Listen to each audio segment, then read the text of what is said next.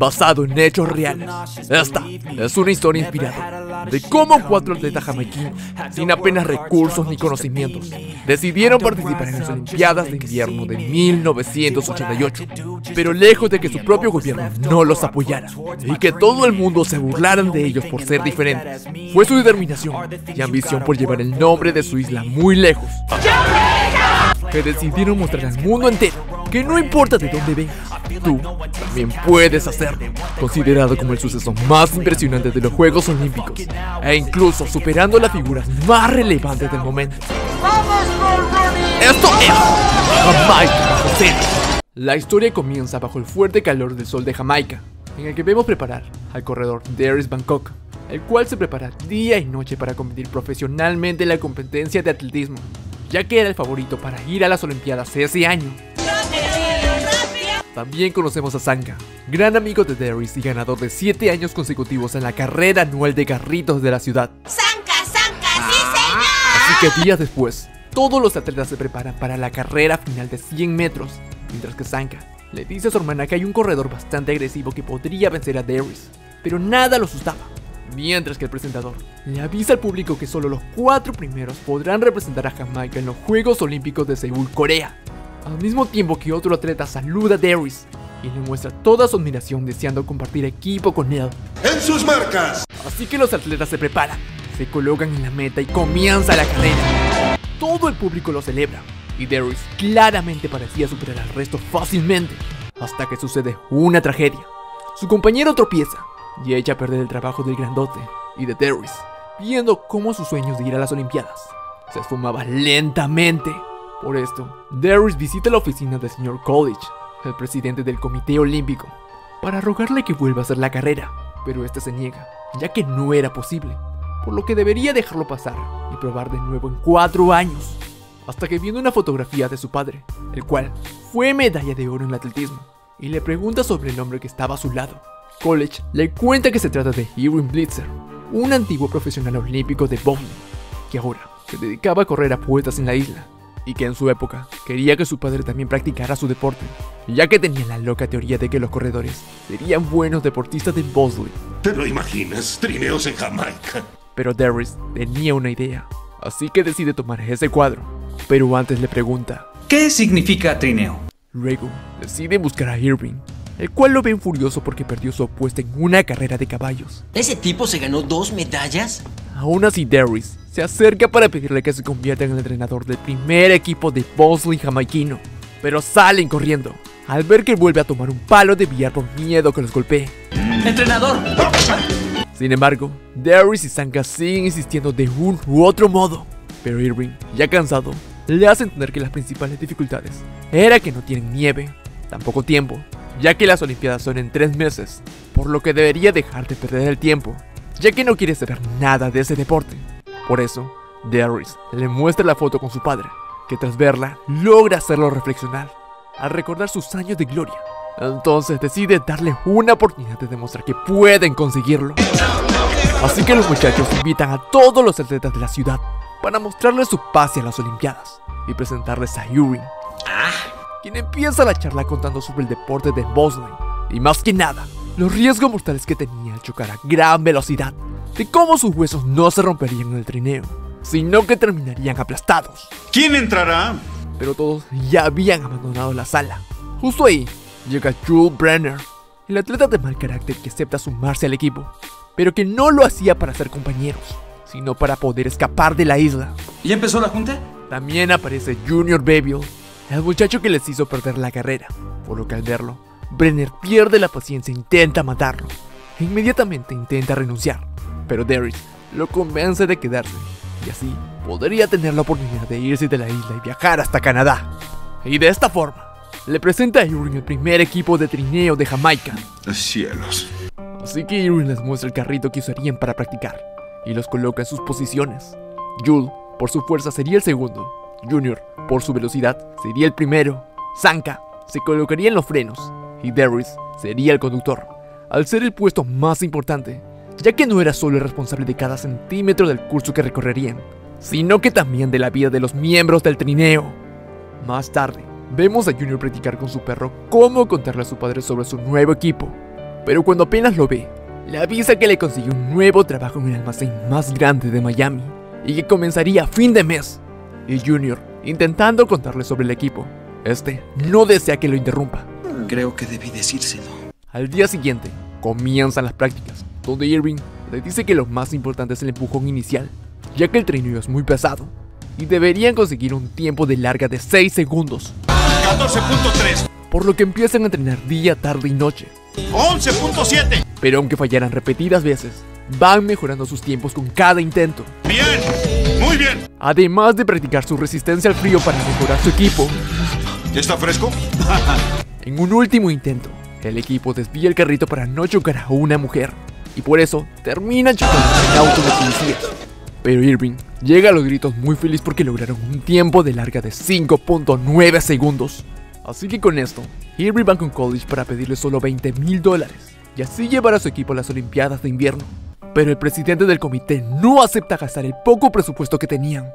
Pero si tú deseas invertir en el equipo de Mosley y este canal, ya tenemos las donaciones habilitadas y podrás ayudarnos a hacer crecer el contenido de la misma manera que los muchachos deseaban llegar hasta las Olimpiadas de invierno. Te pagaré un dólar, pero para que te calles. Sigamos, aún así College dice que los muchachos ni siquiera habían visto una carrera de trineos en su vida, además de querer evitar una vergüenza frente a todo el mundo, ya que es imposible que un país tan caluroso como Jamaica compita en un deporte invernal. Así que ante la negativa, Derry se niega a rendirse, así que todos juntos intentan conseguir el dinero de distintas formas. Sanka comienza a cantar en las calles, pero nadie le presta atención. Darius visita varios inversores para patrocinar el primer equipo de trineo de Jamaica, pero todos se terminan riéndose de él. Brenner juega lucha de brazos por un dólar, venciendo a todos como sin nada, hasta que es derrotado por una mujer. Además, Darius pone un puesto para ofrecer sus besos por un dólar, hasta que llega su novia, y Sanka se ve obligado a besar a una anciana. Al final del día, y tras sacar las cuentas, el equipo apenas logró reunir 184 dólares, por el que todos terminan decepcionados, aceptando que no irían a las Olimpiadas. Hasta que Junior saca de su bolso los 20 mil dólares, los cuales consiguió vendiendo su costoso auto, ya que le mintió a su padre al creer que se fue a Miami y que le dejó el auto a un amigo. No significa que me agrades. Y así, toman un vuelo con destino a Calgary, Canadá, la sede de los Juegos Olímpicos de Invierno de 1988, en donde el equipo entero sufre por las bajas temperaturas de menos 25 grados. Me congelo. Así que tras irse de compras, Irving los lleva a la sede de los Juegos Olímpicos, en donde los inscribe para anotar a su equipo en las pruebas clasificatorias, en donde les indican que tenían que pasar el circuito en menos de 1.2 minutos. ¿Era 1-5? Sí, ya cambió. Así que paseando por el lugar, se cruza con antiguos compañeros suyos y con Kurt, su ex entrenador, quien parece sigue molesto con él. Hola, Larry. Ya al día siguiente, Irving los lleva al garaje de trineos, donde todos se asombran por el hermoso trineo suizo. Pero Irving les sorprende con el nuevo miembro del equipo, un trineo el cual luchó para conseguir, a pesar de que aún estaba algo viejo y oxidado. Muy bonito. Es hermoso. Llega la hora de las prácticas, y cuando todos los equipos se quedan limpiando y perfeccionando cada milimétrica parte de su trineo, los jamaiquinos aparecen con su tremendo pedazo de metal, dejando con la boca abierta a todo su alrededor. Vaya, somos el blanco de las miradas. De esa manera comienza su sesión de práctica, donde intentarán su primer empujón real, y luego del impulso pierden control del trineo, son fotografiados por la prensa internacional, causando vergüenza al director del comité y al padre de Junior que se entera de las mentiras de su hijo. Más tarde, uno de los compañeros de Irving va a hablar con Darius y aconsejarle que su entrenador los estaba arruinando, ya que es un fraude desde que hizo trampa. ¿Cómo que hizo trampa? En los Juegos de 1972, Irving fue atrapado por hacer trampa y esconder pesos en trineo para que vaya más rápido, por lo que fue descalificado y le quitaron sus dos medallas de oro como castigo. E inmediatamente llega Irving a pedirle que no le dé más consejos a su muchacho. Así que durante la noche, previo a salir con todo el equipo, Junior recibe una carta de su padre, ordenando que vuelva a casa inmediatamente. Pero ya en el bar, mientras Bremer intenta motivar y convencer a Junior de enfrentar a su padre, ya que si no fuera por él, ahora no hubiera logrado viajar. Pero es hasta que el líder de otro equipo los encuentra y se burla de Junior por ser turista y que debería dejar en Mosley a los hombres de verdad. Entonces Bremer se para y defiende a su compañero para luego llevarlo al baño y poder empoderarlo frente al espejo y que nada de lo que diga serviría si él no se lo creía. Y es por esto que Junior sale furioso y motivado a pedirle al otro competidor que se disculpe, pero este solo lo empuja. Así que Bremer vuelve a salvarlo. Esta vez puñetazo, e iniciando una pelea en todo el bar que ocasiona un verdadero caos. Hasta que llega Irving para decirle que consiguió que el dueño del bar no presentara cargos, pero luego los regaña duramente para que aprendan a comportarse como deportistas profesionales, ya que si no lo habían notado, no solo lo odian a él, sino a todo el equipo. Un nuevo día comienza y todo el equipo empieza un intenso entrenamiento, donde salen a correr, hacen sesiones intensas de gimnasio, practican el empuje al trineo y entrenan sobre la pista de patinaje. Y todo con tal de mejorar y llegar a ser los campeones. ¡Eso es, eso es! Luego se va a conocer a los jueces de las pruebas y se entera que Kurt sería uno de ellos, además de decirle que la Alianza Olímpica disminuyó los tiempos de clasificación a un minuto. Por mí no hay problema. Entonces, era momento que los muchachos se lancen del trineo, con un tiempo de larga de 6 segundos, conduciendo a gran velocidad por la pista, con una concentración máxima para evitar cualquier choque. Así que al terminar, solo esperan ver su marca. Lo que todo el equipo festeja brindando y decorando por completo el trineo. Así que Darius decide nombrar el trineo como Cold Running, que significaba un viaje tranquilo. En ese momento, son interrumpidos por un mensajero que entrega una carta. En Irving lee que oficialmente habían sido descalificados. Por esto, es que se va muy enojado y se mete sin permiso en una reunión de la Alianza Olímpica para enfrentarse directamente con Kurt, ya que a pesar de haber cumplido con todo lo que le pidieron, cambiaron las reglas para excluirlos por temor a una vergüenza mundial. Pero Irving le dice a su ex entrenador que no tome venganza con su equipo por lo que él hizo cuando era joven, ya que ellos se esforzaron y se ganaron el honor de representar a su país en las Olimpiadas, que es el simple y más grande honor que un atleta puede tener, por lo que se disculpa y se arrepiente de haber hecho trampa hace 16 años. Así que esperando una respuesta, recibe una llamada de la alianza y muy serio, le dice que le permitieron volver a entrar a la competencia. Por lo que previo a salir de su habitación, Irving reúne a su chico para dar una oración motivacional. Hasta que alguien golpea la puerta y resulta ser el padre de Junior.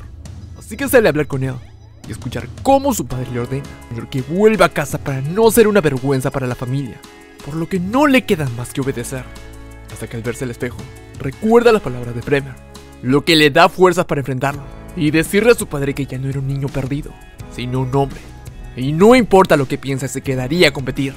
Al día siguiente, comienza el primero de tres días de competición para los equipos de trineos, ¡Cállense todos! ¡Está empezando! donde dicen que los favoritos a la medalla de oro son los suizos, alemanes y canadienses. Así empiezan a lanzarse los distintos países, consiguiendo velocidades de 56 segundos, hasta que llegado el momento de Jamaica, Darius golpea a su compañero como lo hacían los suizos, pero a estos no les gusta nada, por lo que se preparan para correr. Pero estos se les nota muy nerviosos por el hecho de ser vistos por más de 100 millones de personas en todo el mundo, y no logran meterse al trineo a tiempo. Los comentaristas se ríen de ellos, su trineo choca contra las paredes, y consiguen un tiempo de 58 segundos, muy por debajo de sus competidores. Por eso es que Irving se fastidia, ya que le dice que a pesar de que conocían la pista a la perfección, fallaron y no demostraron estar listos. Entonces le dice que si querían ganar, debían encontrar la forma de estar relajados, ya que él no podría ayudarlos con eso. Cuando los suizos se enfrentan. De ese modo, llegan al día siguiente cantando muy alegres como lo harían cualquier día. Todos dicen que no puede ser. Sanka hace su ritual de buena suerte besando un huevo. Y el equipo se lanza mucho mejor que el día anterior, dominando cada curva sin problemas, sorprendiendo a los comentaristas ya que parecían otro equipo, terminando el circuito con 56 segundos, lo que lo sube hasta el octavo lugar. Mientras todo Jamaica se alegra y festeja con ellos. Así que llega el último día de competición y los comentaristas hablan sobre el nuevo fanatismo hacia los jamaiquinos. Y cuando toca su turno, el equipo demuestra estar a la altura. Ellos toman velocidad hasta un tiempo récord, logrando desplegarse con destreza en cada curva. Pero cuando todo parecía ir bien, una de las tuercas empieza a salirse, hasta que en una curva, Controlar el trineo. y chocan gravemente contra las paredes, desmayando el equipo y paralizando al mundo entero por su trágico suceso. A lo lejos ven a los rescatistas llegar, pero los chicos despiertan y Darius decide que era momento de levantarse y terminar la carrera como equipo. Por eso, es que colocan el trineo entre sus hombros Y a pesar de que lo veían ese mar de espectadores, cruzan la línea de meta de los aplausos del público, ganándose no solo el respeto de todos, sino incluso de quienes se burlaban no creían en ellos. Y así termina Jamaica bajo cero. Aunque fue un suceso muy inusual, ustedes díganme, ¿valió la pena todo el sacrificio y perseverancia del equipo por llegar a las Olimpiadas? O dime tú, ¿te hubieras rendido del primer obstáculo que hubiera aparecido? Te leo en los comentarios. Hoy me siento muy olímpico. Si te gustó, dale like y suscríbete. Y no olvides de activar la campanita para que no te pierdas ningún vídeo. Y en caso de que no lo vea, buenos días, buenas tardes y buenas noches.